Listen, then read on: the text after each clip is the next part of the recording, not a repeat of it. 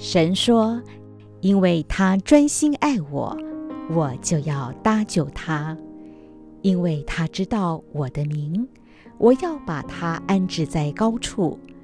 他若求告我，我就应允他。他在急难中，我要与他同在，我要搭救他，使他尊贵。”诗篇九十一篇十四到十五节。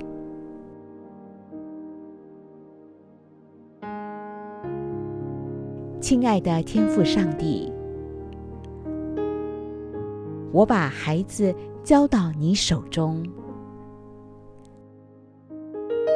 孩子目前正面临霸凌的情况，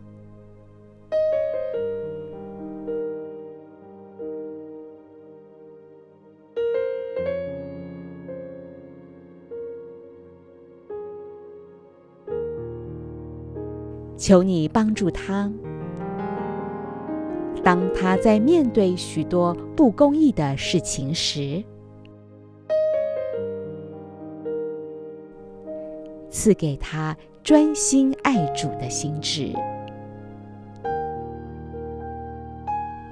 让他定睛在你身上，依靠你的慈爱、信实、公义。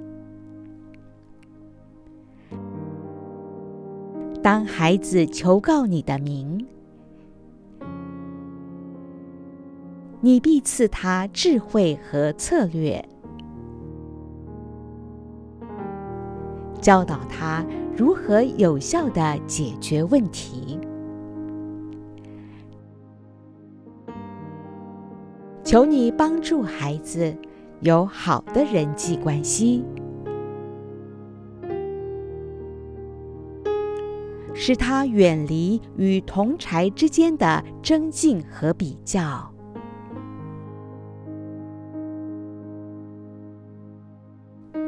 赐给他像大卫一样的信心，即使站在巨人的面前，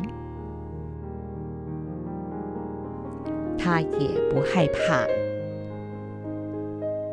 求你与孩子同在，在急难中搭救他，保守他的平安，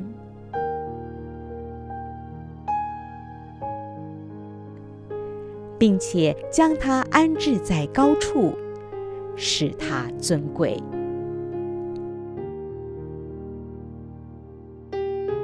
好让他在同柴眼中。成为能够荣耀父神的美好见证。